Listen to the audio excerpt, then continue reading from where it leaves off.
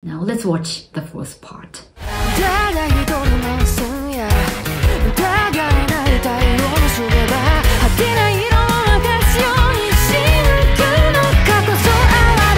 Tada Hitori means all alone. Mau is a poetic word to dance, and Senya is thousand nights. Tagainai is not everyday word. It's an old word meaning not wrongly.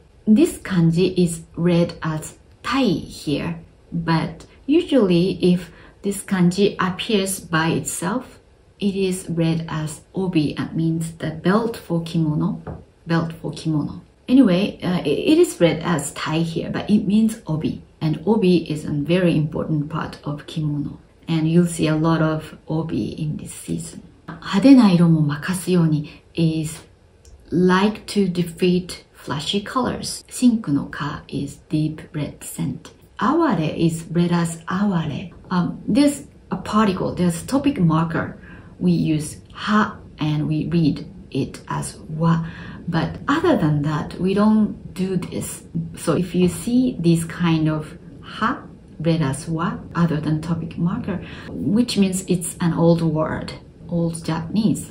Uh, it shows deep feeling, something you feel deep inside. It's not always bad. It's more something deeper. We have the word aware, awarena in modern Japanese, which means poor or pathetic. But anyway, when we hear aware, usually we think of like pathetic sorrow or pity. Doesn't have good meaning. And actually, this part doesn't make good sense. I know the meaning of the words, but as a whole, it doesn't make clear sense. But I can get the image of someone dancing with beautiful, vivid red obi, and that image is beautiful, flashy, but somehow sad. So this part reminds me of the demon in this season.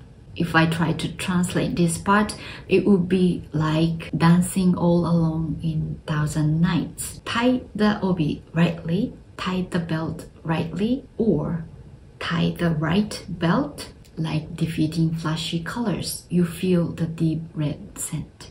Now let's watch the fifth part.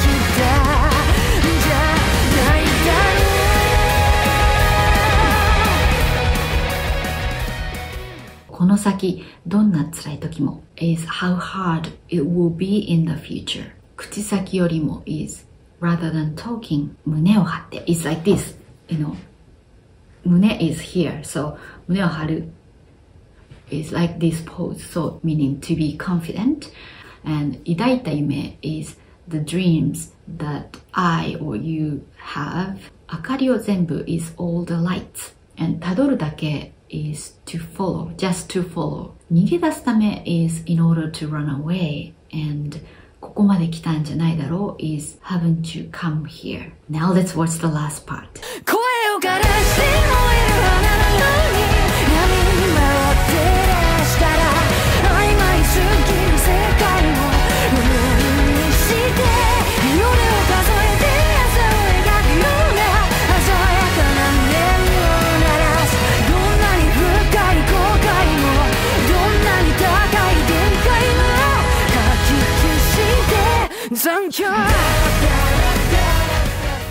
声を枯らす is when you talk too much, your voice gets hoarse. That's 声を枯らす。燃える花のように is like burning flowers. 闇間 is dark place and again this is not an everyday word. 照らす is to, you know, to light, to light. 曖昧すぎる is too vague. 正解 is the correct answer.